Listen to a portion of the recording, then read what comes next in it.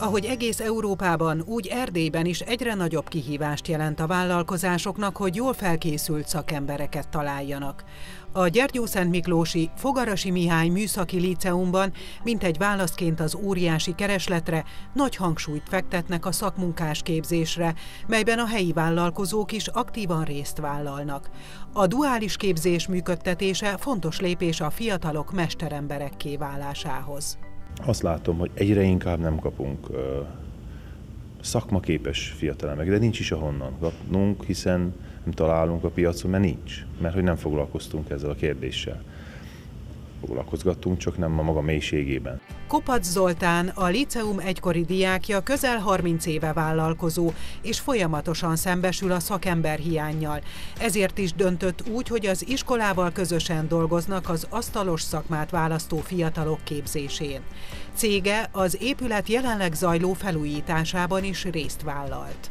Felújítás alatt van az iskola, ami egy szenzációs dolog külső arcolatát látjuk ma már megújulni, abban is ugye szerepet vállaltunk a restaurálásban, ez egy új irányzat, hogy így mondjam, és egyre fontosabb irányzat lesz, meglátásom szerint.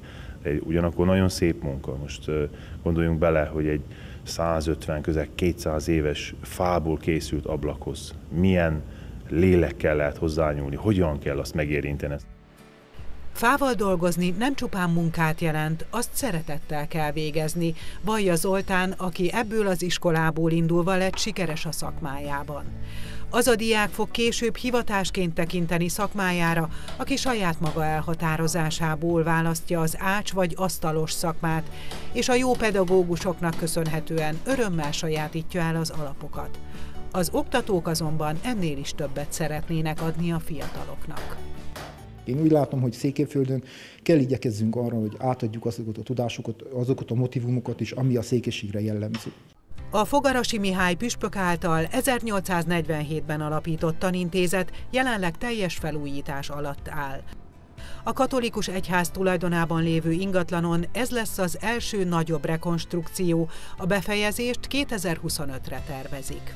A magyar állam segítségével, mivel még mindig nem kaptunk támogatást a román államtól, így a magyar állam bevállalta azt, hogy segíteni fog az egyházon, hogy ezt az iskolát felújítsák. Na most már meg is kezdődött a pincerész, volt az első fázisban megcsinálva, részbe a tetőzet, és most már mondhatjuk, hogy teljesen az idén megújult a homlokzatunk. Ezután a belső munkálatok következnek, a tantermek, folyosók, tanári szobák sorra megújulnak. Az igazgató úgy látja, aki az épület újjászületésén dolgozik, mind-mind minőségi munkát végez.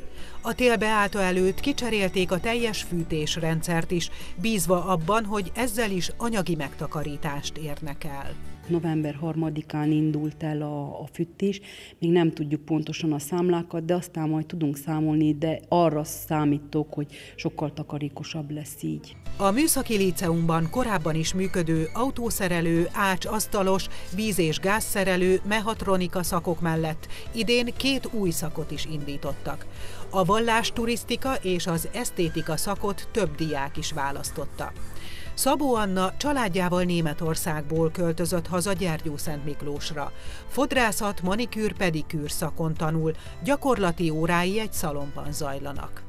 Előre kicsit féltem, hogy nem fognak befogadni, mert hogy Németországból, és hogy ilyen-olyan, de amúgy abszolút nem így van, mindenki befogadott, nagyon kedvesek, segítőkészek, tehát Más ugye azért az iskola is, de nagyon befogadtak mindenki, a tanárok is, és a diákok is, nagyon kedvelnek.